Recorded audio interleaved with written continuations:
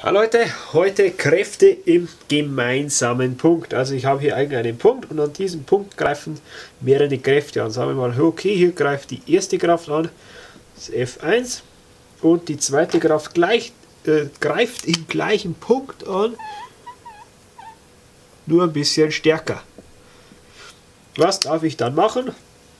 Richtig, ich darf, weil die in die gleiche Richtung zählen, äh, zeigen, den blauen Kraftpfeil und den grünen Kraftpfeil darf ich sozusagen addieren, also den blauen hier vorne dran und dann komme ich auf einen resultierenden hier von ungefähr dieser Länge. Also sprich, ich, ich baue mir hier den F1 hier vorne nochmal an den grünen zusammen und bekomme hier meinen F resultierenden Kraftpfeil heraus. Ja, das ist der Fall, wenn es in die gleiche Richtung zeigen. Jetzt, wie sieht das Ganze aus, wenn ich jetzt hier einen Punkt habe und diese Kraft F1 greift darauf und diese Kraft F2 greift dahin. Komplett anderer Winkel, andere Kraft. Wie sieht es da aus? Wie geht man da vor? Ja, gleiches Prinzip. Man packt sich hier zum Beispiel hier den äh, Pfeil F2 und baut ihn hier oben wieder hin. Also hier baut man ihn hin. Hier, das ist dann F2.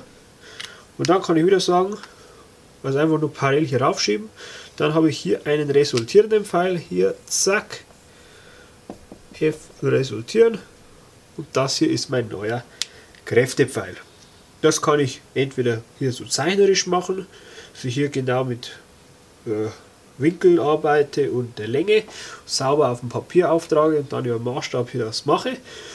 Oder ich kann, ich kann mir sowas auch berechnen, indem ich hier, was weiß ich, den Winkel zur X-Achse weiß, sage ich, okay, hier habe ich 50 Grad und dann hier so weiter und so fort.